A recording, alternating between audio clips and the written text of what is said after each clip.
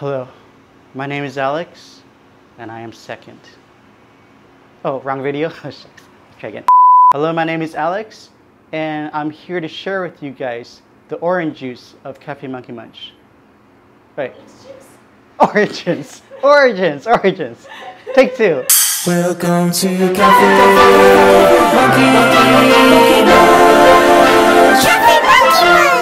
Hello, this is Alex from Cafe Monkey Munch, and I'm here to share with you the origins, the story, the making of Cafe Monkey Munch. We're about to go deep, yo. In the beginning, Cafe Monkey Munch was something that I feel God put on my heart from tender age of, of, of, of probably four or five. I grew up in a, a very common Asian household where we were just forced, of course, coerced, made to play either violin or, or cello, piano.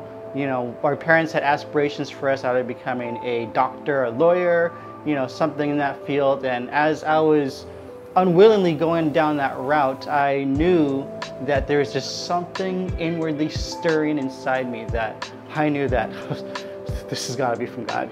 I recall making my first cup of instant noodles when I was in the third grade, and I just remember um, just taking those chopsticks and, and stirring the those al dente noodles, as they call, as they say in the uh, chef world, but just stirring those noodles and just feeling those, those, those aromas, those flavors, just that MSG really, really, really just made my mouth water. And upon the first bite of just you know, the, the combination of those noodles, the dehydrated vegetables, those, those dried carrots, those, those peas that really have no substance. Um, yeah, it was kind of undercooked, but I knew that I think I'm onto something. So at that moment, I just remembered going to my mom immediately after just having that orchestra, that, burst of flavors in my mouth. And I just said, Mom, Mom, I really finally found out what it is that I want to do in life. And I said, I want to be a chef, you know? And when I heard her response, guys, I'm not gonna cry. I'm not gonna cry, all right? I'm just not gonna cry. I'm not gonna go there because I am at a place where I'm healed. I'm at a place where I'm good. Uh, I'm over it. I'm over it. I remember just telling my mom, I wanna be a chef. And she just said, no, you're gonna be a doctor. You're gonna be a lawyer. And,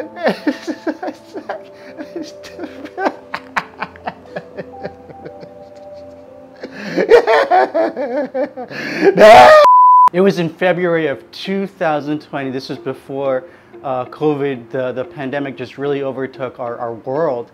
You know, we were set up. We had this 10,000 foot dirt lot. We had this vision, you know, of, of we had blueprints um, in our minds. But we're like, we're gonna set up this huge restaurants. You know, we're gonna have tables, we're gonna have chairs, we're gonna have food, we're gonna have like waiters and, and chefs and uh, I don't really know what else goes into a restaurant, but we had just this vision of something huge, something bigger than us, something beyond us. And uh, it's that damn COVID that uh, just none of this was able to happen. And it's from that point on that we say, you know what, let's take this huge, lofty idea that's so bigger and beyond us and let's just bring it into our house. Let's bring it into our kitchen. And um, even though I have no cooking experience uh, per se, I mean, you always hear me in the starts of my videos where I say chef. And you know what? I get lots of comments, I get emails, I get DMs and, and texts of people saying, hey, you should not demean yourself in that way. And you know what?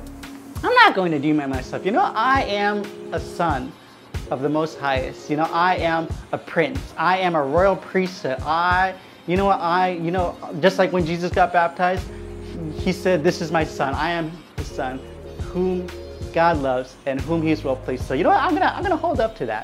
In all seriousness, folks, you know, the, the, just the launch of Cafe Monkey Munch, it, it, it was, you know, just this comical idea that me and my wife started as we were just playfully um, experimenting in the kitchen. We have these little stuffed animals that we give them personas to. And I just said, you know what, let's, let's call our kitchen Cafe Monkey Munch. And from there, that just stuck on every single time we were preparing dinner or a meal. But um, you know what? I always had this dream of just starting a YouTube channel and just having this sandbox, this palette where I could just explore creatively um, in the culinary world, through culture, through food.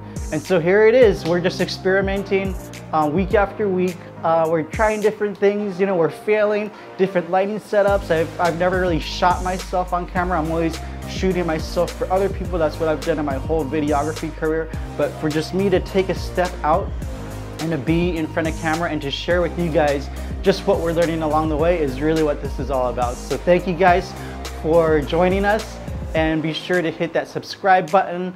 Uh, there's a little bell icon where you can stay notified for the latest and greatest things happening here at Cafe Monkey Munch. Oh, and we just launched our Cafe Monkey Munch merch store. So from there, you can get die cut stickers, comfort t-shirts, uh, mugs, uh, hoodies even, hoodies. It's, it's so hot in Hawaii, but hey, we made hoodies.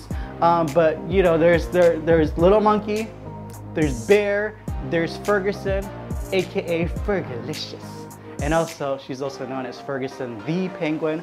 But if you want to go to our Cafe Monkey Munch merch store, we'll put that link on the bottom and just feel free to get to know our family through there. So thank you guys for joining us at Cafe Monkey Munch and we look forward to eating with you the next time.